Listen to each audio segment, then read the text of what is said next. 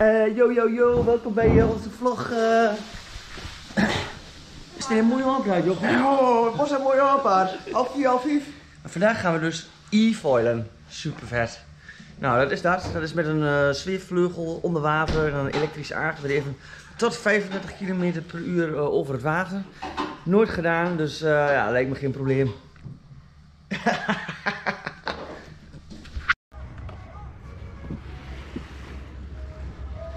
Ja, ben je er klaar voor?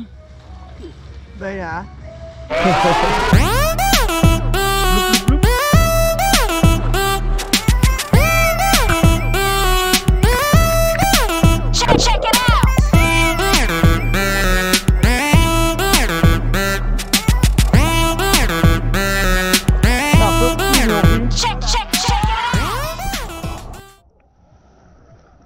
Net gemist, maar eh juist in een kwartiertje en dan stond het erop hoor.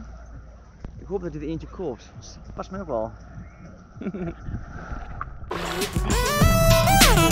Oké.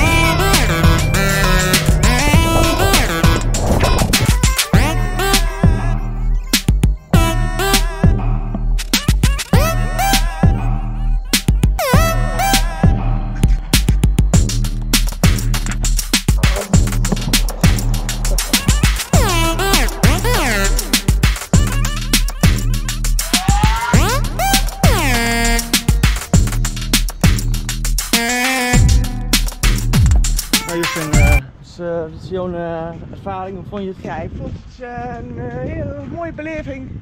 Eh, ik twijfel er nog een beetje aan om er zelf eentje aan te schaffen. Nou, ik zou het gewoon doen. Ja, ik zou het gewoon doen als jij dat, dat jij dat zou doen. Want ik kan het voor jou Ja. gebruiken. Jij wil het van mij gebruiken.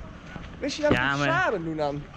Misschien even het samen doen. Hmm. Hmm. En weet je wat het nadeel is? Het is hartstikke leuk, maar het is natuurlijk wel hartstikke lastig meenemen zo'n ding. En het is niet dat je denkt van uh, neem keer mee een vliegtuig of eh, Nee. ik heb de camper ook al redelijk vol met alle andere spullen. Maar jij Maar- hebt een dak op de camper, hè? Dat is waar. Dat is waar. je Nou, ik hebt denk een dat groot rijbewijs, dus in principe kunnen er wel drie op het dak. is ook wel weer zo. Nou, Eh, stof te denken. heb je hier zo'n ding aan in? Hebben we dat? Heb je hier zo'n ding aan Met hem. Trek hem met hem. Nou, tot zover eh, de vlog. Groetjes.